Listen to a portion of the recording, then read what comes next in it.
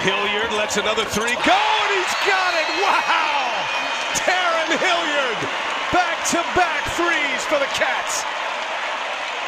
I mean, you see Darrun Hilliard understanding the pick and roll and who's covering the pick and roll.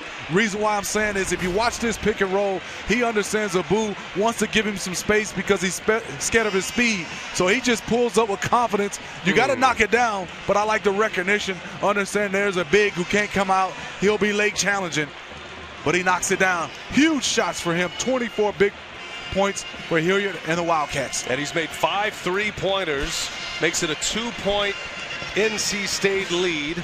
I like that. That's thinking about the basketball game, the basketball IQ. Change from 1-2-1-1. This is man-to-man, full-court pressure by the Wildcats.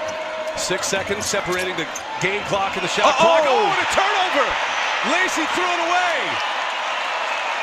Lee was coming in to get him, and he threw it over his head, and Nova has the ball down two.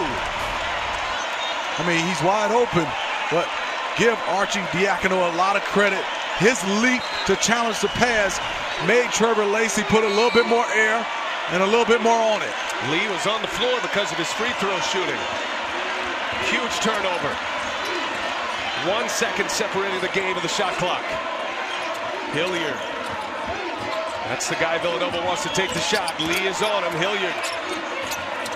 Now to Ennis. Plenty of time. That's a three. That's for the lead. No. Barber. Arcidiacono pokes it free, but he fouls. And that's going to send Cat Barber to the line. 15. Barber buries it. Big time free throw right there. Cat Barber. Two possession game. Nova's got to go fast. Hilliard long three. No. And it's poked right to Freeman. And he's fouled. NC State starting to smell a Sweet 16. Freeman missed them both. Here's Hilliard. Four goes to three. Hilliard for three. Got Whoa! it. 1.7. Got it in bounds and a foul. Here we go. Last chance for Villanova, trying to get it to overtime. Ochefu, nope, it goes right to Lee, and NC State is headed to the Sweet 16.